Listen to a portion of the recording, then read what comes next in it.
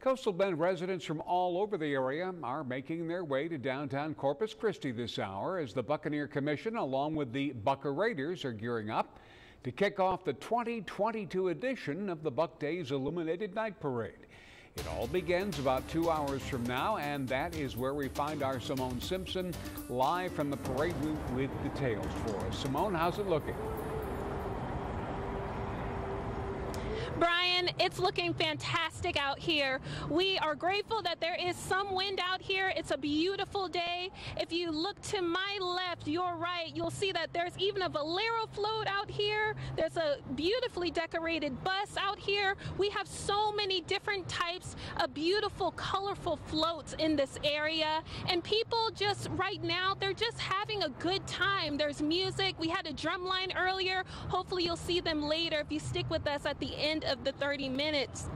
And so one of the best things about this area, this this this time of year, is the community aspect. And so I'm joined by the Vice President of the Bucaraiders, Steve Lewis.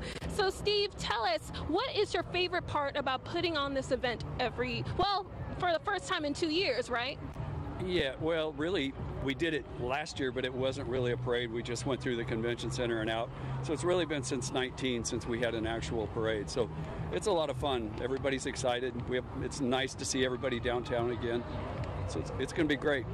Yeah, it is going to be great. And so you told me you've been doing this for 24 years. You know, so how did you get started with doing this? Uh, you have to be invited, and I got invited by a friend of mine, and it just I knew what he did, and it sounded like a lot of fun and you meet a lot of really nice people, and that's that's the biggest part of it is just getting the, the to get together with everybody, and we meet you know quite often this time of year, so it's it's just kind of a com- camaraderie, and then the excitement of actually putting the parade on. Right. And you know, I'm looking forward to the parade. And so I hope you guys stick around. And if you are interested in coming down, be aware that there is a lot of traffic. It is congested out here. Uh, my photographer and I saw some road closures. So just be mindful of that.